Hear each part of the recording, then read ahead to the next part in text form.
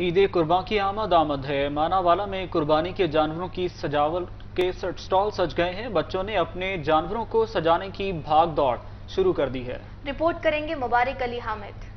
सबकी ख्वाहिश होती है कि इनके जानवर सबसे खूबसूरत नज़र आएँ और देखने वाले देखते ही रह जाएँ। और बच्चों की तो क्या बात जानवर घर पहुँचा ही कि नहीं कि इन्हें सजाने की भाग दौड़ शुरू हो जाती है। ईद कुर्बा के आते ही जहाँ मायशी मंडी लगी है तो वहीं मानावाला में जानवरों के सजावट के स्टॉल भी सज गए हैं। इन स्टॉल पर जानवरों के चमकते बैठे दिता जेब, हार, ताज, पायल वगैरह दीगर सामान दस्तियाब है।